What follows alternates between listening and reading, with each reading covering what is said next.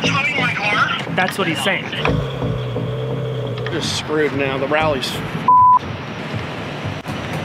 This got a Ferrari illegally impounded. It ruined my driving record for like two years, and it cost me tens of thousands of dollars. Today, we're gonna talk about the single dumbest ticket I've ever received. Let's talk about this. Let me set the scene and explain what happened so all this makes sense. You're being cited for hitchhiking? Okay. Hitchhiking. You're sir. kidding. September of 2019. I'm doing Savage Garage with Randy, and it had just begun to really take off. At the time, I think we had just passed the 100,000 subscriber mark. So for a channel that had just started, you know, things were really going well. This happened the day before our first ever Savage rally. The plan for us was as a group, we were all going to drive from Maryland to Detroit, where the rally was beginning, kind of like a pre-rally to the rally. We were going to take virtually all the cars we had featured on Savage Garage up until that point. So that was the Urus, the SVJ, two of Randy's 720Ss, his Turbo S, the F12, the Murcielago. I mean, even my Maserati is a film car. Basically, every car you saw in our first like garage tour we ever did years ago, those are the cars that went on the rally. In fact, we filmed like that whole garage tour video the day this all happened. And this day, before we were going to drive to Detroit, it was an incredibly busy day. First, we had to get all the cars to Randy's office, A, so we could all leave together, but B, because we wanted to film that garage update. And then me personally, I had to talk with the Golden Peaks production boys, the people we brought out to help film that rally with the big film car.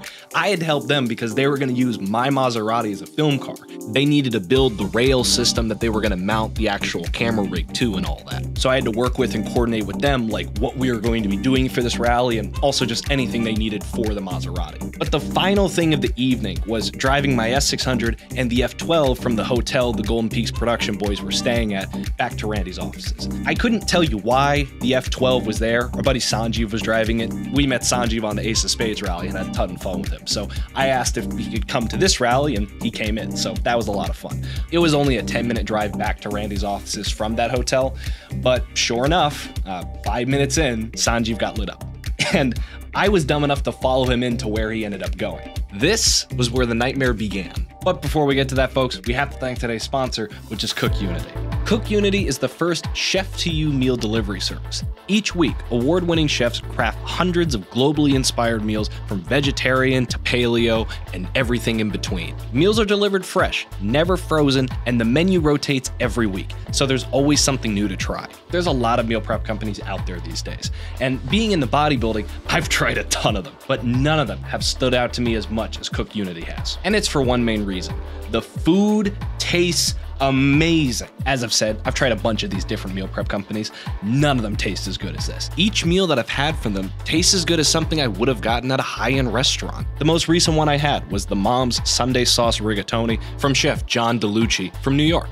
Absolutely amazing, very filling, and I heated it up in three minutes in a microwave. And the price point for what you're getting here is fantastic. These days, because of how expensive produce and going out has become, it's a huge time and money saver to have high quality meals made with real ingredients, with nothing artificial, ready to go in your fridge that actually tastes good. They offer a wide range of meals with over seven different dietary preference filters, including vegan, paleo, and gluten free options. And the subscription is super flexible. You can pause it, skip weeks, or cancel anytime. Get 50% off your first order of Cook Unity meals. Go to cookunity.com slash Jimbo50 and use my code Jimbo50 at the checkout to try them out for yourself. And thank you, Cook Unity, for sponsoring this video. So with that, check the link in the description down below, check out Cook Unity, and enjoy the rest of the video. Well, that was, uh...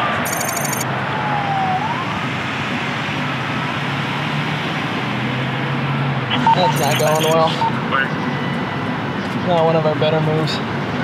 So essentially, Sanjeev uh, opened the valves up, went under an underpass on our way to see Randy, and didn't go too well. So, what are you gonna do? I'm just a little bit nervous because I didn't keep going. I wanted to stop the film, and I was with him, so I'm hoping that I don't also get a ticket, but we'll see what happens. That one's not it either. Yo, What? Sanjeev and I are pulled over right now. Yeah, um, he's coming to me right now, actually. Good evening, I'm Officer Hey, Cowell with how are Montgomery you? County Police. Need to see your driver's license Absolutely. registration, please. Just You let got- you know everything's audio, video recorded. Good. No, that's awesome. How could we? Uh, are we able to get a copy of it at some point? Just out of curiosity. I don't have anything to do with that. Got it. That's through our headquarters. No worries. Okay. Yeah, yeah, I got you. Here we go. Hi, Cameron. Uh, yeah. So here's my driver's license. Let me give you my registration as well. Jimbo, did Sanjay get pulled over too? Oh yeah. Um, I would imagine him accelerating through under the tunnel wasn't good. Oh yeah. Okay. You got it. That's just- what we refer to as challenging for a race. Gotcha. Well, I mean, it wasn't a race. Um, I mean, if I if I could be frank with you on it, officer, can I just put this window up so this doesn't fall down? Is that okay with you? Yeah. There we go. Oops. Come on. It. Oh yeah, trust me, I won't. trust me, this is my livelihood. I'm not dropping this boy. Um, let's see. I think that'll that'll suffice right there. Okay, very good. Yeah, no, it's just um, I'm sure you saw, but he's a Canadian. He's at. A, I gotta give you my insurance. Um, he is. the insurance, just the registration. Yeah, there we go. Um, yeah, he's out of state. He's uh, he came in just for we have a little event going on, a little car show down the road, and um, he's never driven that car before, so just wanted to hear what it sounded like with the valves open. Yeah, there you go. So yeah, now I understand. That's I can see where you definitely get that. But trust me, this boat doesn't race. Thank you. no problem. All right. Now, the reason the cop said he got pulled over was complete nonsense. The reality was he got pulled over because he made a bunch of noise in a Ferrari. It was the end of the month, and the cop saw nothing better to do. That was the real reason he got pulled over. But what the cops said was him in that F12 in the Ferrari, he was challenging me to a race. The problem is, is you both took off together. And the way we see that is challenge for a race.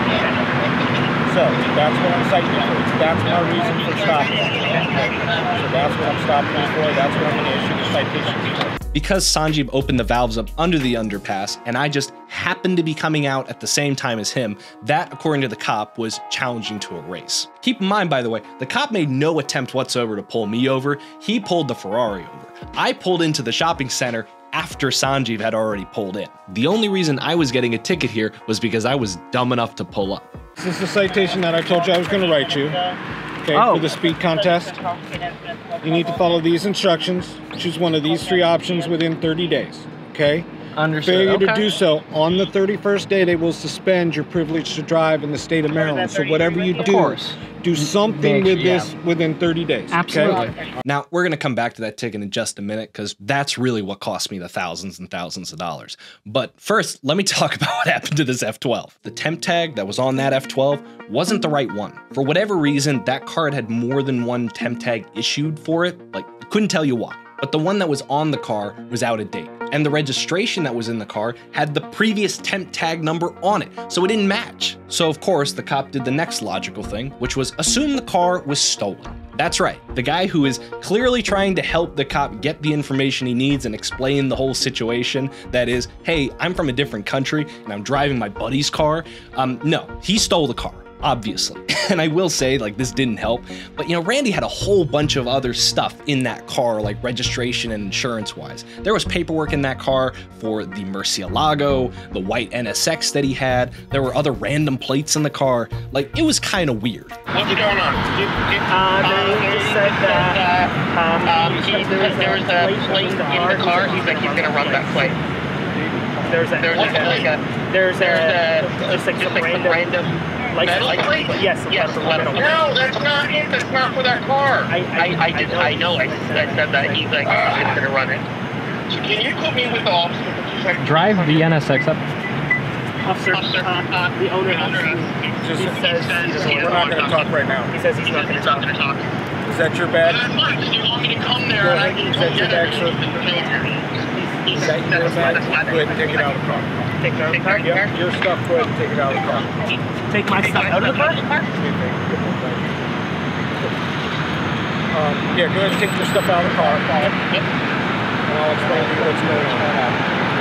It's going Yeah. with me. This is going with you. Are they towing my car? That's what he's saying. Why? He, he he won't talk to me. He's like he's like any he's like anytime I ask him, he's like go sit in that car and we'll take He's like, I'm gonna write you a citation. And despite what we told him, despite trying to get Randy on the phone, explain what was going on, even as far as like Randy drove from his offices over to where we were and tried to show him the damn title that he had on his phone, the signed title that said he owned the car, the cop didn't want to see it. The cop just said, okay, well, now it's going to auto theft. Say they do tow it. How are we go? Like, can you prove ownership with something else? I mean, I got the have- title in my hand right here. They won't look at it. and they won't look at it. Great. Officer, can I come over and talk to you? I, I don't understand what the confusion is. I really don't understand it. There is a, there are there's a tag for that car from Maryland. From Unfortunately, there's other things going on that I don't understand. That's why I don't work auto theft. Okay? auto theft. I bought the car from Loudoun County, exotic. Okay. Like I said, unfortunately, there are things going on that I don't understand and don't have and am not privy to. That's why the sergeant, we, we call the sergeant of auto theft and he tells us what to do. And there's nothing I can do about it tonight. Nope. As I was told, it's going to impound and you can contact them tomorrow morning. What time tomorrow morning? I believe they start at six. Now, is the officer there at six, the one I need to talk to? You don't even know that. I don't know that because I don't know their schedules. Okay, so that's going over the one right next to the fire department, right? Yes. Okay. Um, okay. I know. I know exactly where that is. Okay, and that's where the car will be kept in that lot. Well, to start with, yeah. Then whatever auto theft decides to do with it is up to them. Well, can they clear it once I come there with a? Okay. Just like I said, I I don't know. I'm not the auto theft guy. So I can't even get my paperwork out for the other car. No. You'll have to talk to them before anything else leaves the car. Great. We're just screwed now. The rally's. You know, like I know the Montgomery County Police don't have anything to do during the day, but this was pretty low and stupid, like even for them. To basically say, and this is after you have put us in this position, hey, like I don't really know what's going on here, but um, I'm still towing your car. Like that's ridiculous. It really seemed like early on the cop had decided that he was towing this car, and I don't know if it was out of spite, you know, it just seems strange, you know, the fact that this cop went from, we're gonna give you a ticket that was kind of nonsense to, you know what, it is now my, like, this is what I am doing today. I am getting this Ferrari towed. The cop refused to look at anything like documentation wise Randy had on the car. He wouldn't even let Randy go in the car after it was being set up to be towed. His car, like, none of it made sense. None of it made sense at all. We ended up getting the car out of impound the next day, and it wasted the entire morning and the entire afternoon, and we ended up being late to our fan meetup. But I mean, if there is a silver lining, at least we got like a halfway decent video out of it, or a couple of videos. Now, let's go back to this ticket for a second, because this is the real problem. The ticket happened kind of late in the year, and by the time the ticket got over to my traffic lawyer and he filed all the paperwork he had and scheduled the court date, COVID hit. And all of a sudden, every single court date, every single process, like all of the you know things that the courthouse was doing, they all got put on pause until like basically further notice. For the next two years, I had a five-point ticket that sat on my record and really screwed up my insurance rates. And that really sucked on its own. But the really big problem that caused was back in February of 2021 when I was trying to buy my Aventador because you need insurance on a car that you're about to buy from a dealership, and I, I couldn't get insurance for it. It wasn't the case where it was just such an astronomically high rate I wasn't going to pay it. Literally, no one would give me a policy. People wouldn't even try to write it. That ticket, the challenging to erase ticket, unfortunately for insurance, like they view that as basically drag racing. So for a lot of major insurance companies, they kind of red flag that as like a do not insure for someone my age that's trying to like insure that tier of a car. Now eventually I did end up finding a workaround and it was getting a commercial policy through Progressive. And here's how much that cost. My commercial policy from Progressive, which I couldn't believe they gave me anyway, but 40 minutes after talking to a nice woman on the phone, she wrote me a policy for one year. Take your guesses now. Do, do, do, do, do, do, do. $25,000 for one year. Do you know how stupid that is? it doesn't even make sense. Like, I, I'm gonna shop the policy around. I'm gonna get something else, or I'm gonna deal with uh, getting that ticket off of my record so I can actually get a personal policy. But at least for a couple months, like my premium, I'm paying like $2,300 a month to insure this stupid car. Just for scope, that's not far off of what I'm paying a month to lease this car. So, a little expensive. It's a problem. We're gonna fix it, but I just figured I'd tell you just because I figured people would find that interesting. $25,000 to insure a car for one year. So I ended up paying that for a couple months. And, you know, I said in that video, like, if anybody works in insurance, please reach out so we could try and figure this out. And thankfully, one of you guys did. Like, back then, one of the fans of Savage Garage reached out to me and he worked in insurance. And I ended up getting a policy through Farmers that was like $1,300 a month. It was still ridiculous. But, you know, like, for a 22 year old driving a basically brand new, like, late model Lamborghini, and my record wasn't spotless, I just figured, you know, it's just gotta pay to play. You know, that's just the way it goes. And as time went on, like the rate did start to drop. Like when the ticket officially got wiped from my record, which we'll get to in a minute, but when it got officially wiped from my record, my policy dropped big time. Like I think it was down to about like $900 a month. So much better, still ridiculous, but way better than 1300 bucks. But come the day that this was seen in court, August 3rd, 2021. You know, I'll, I'll, never forget walking into the courtroom with my lawyer and like hearing their version of the story of like what happened. And it was just, it was made up. Years ago on Savage Garage, I uploaded a follow up video for this ticket, and it didn't get a ton of views, but here's the explanation of what the state of Maryland said happened. I will paraphrase it in the best way I can possible. The lawyer representing the state goes, Your Honor, this officer observed Mr. Best as well as one other individual racing from a stop at a light right before going under an underpass. The officer then pulled both cars over inside of the parking lot to the right of the street, a little bit after the underpass. At which point, the officer towed the Ferrari and gave Mr. Best a ticket for challenging to a race. Now, state of Maryland. Um, that wasn't even remotely close to what happened. Here's what actually happened. The light before the underpass on 355, it turned green. We drove forward as one would. We couldn't have tried to race from a dig because there were cars in front of us. The cop also could not have seen us leave that light because that's not where he turned on his light. He didn't turn on his lights until after Sanjeev was past the underpass. So there wasn't even a possibility he could have potentially seen us drag racing from a light or from a dig. That, that didn't happen. It was absolutely infuriating. But, you know, my lawyer, Seth, I don't remember what the agreement was, but Seth managed to get the entire thing wiped from my record. Not just like reduction in points or a reduction to a different fine, like the entire instance just wiped from my record, which was kind of nice. So, you know, that's not on there, you know, but I still, like, over the years of paying those inflated insurance premiums for the Aventador and all the other cars that I had insured, like, it was a lot of money. You know, it was thousands and thousands of dollars extra that I was spending, all because of this nonsense ticket that kind of got stuck in processing and was nonsense to begin with. I've always looked at this ticket as kind of karma for all the other stuff we did over the years with Savage Garage that, you know, we never got in trouble for or we got away with. So, you know, it is what it is. Um, at the end of the day, even though it was a pain, it ended up making for a good story. So, with all that, I hope you guys enjoyed the video. Comment below like any BS story you have with, you know, the court system or, you know, just a bullshit ticket. Comment it below. You know, I'm curious to see what kind of stories you guys have. But with all that, I hope you enjoyed the video. Thanks for watching, and I'll see you next time.